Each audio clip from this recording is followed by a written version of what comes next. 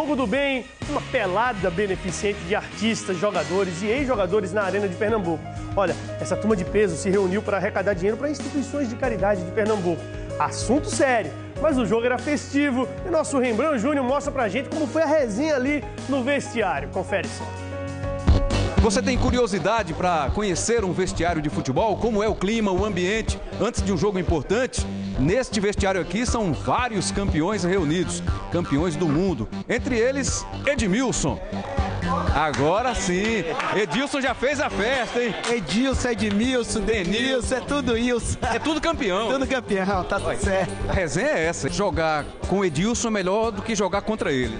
É muito mais fácil jogar o favor, né? E o Lucas também, rapaziada que tá, que tá em atividade aí, depois dos 40, né? Fica mais difícil de correr. O que te faz deixar as férias para participar de um jogo como esse, Miranda?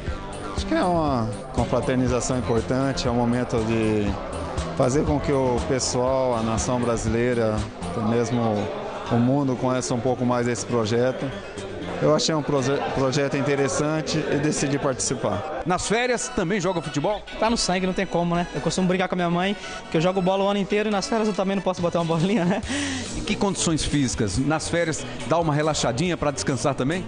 Ah, dá uma relaxada, né? Normal. A gente procura curtir com a família, com os amigos, come bastante churrasco, doce, tudo, mas eu, mas eu tô bem ainda. Tá do lado desses caras.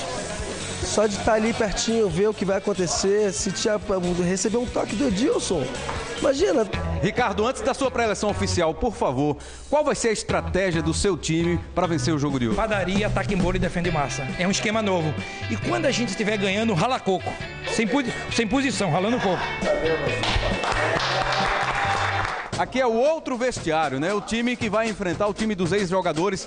Mas aqui também tá cheio de ex-jogadores, artistas. A galera já tá no aquecimento aqui, batendo aquela bola, fazendo alongamento. Wesley Safadão tá no alongamento aqui. Tem uma preocupação lá no outro vestiário, Wesley, de Edmilson pentacampeão mundial.